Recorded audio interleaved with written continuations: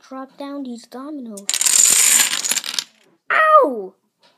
Who did that? Ouch.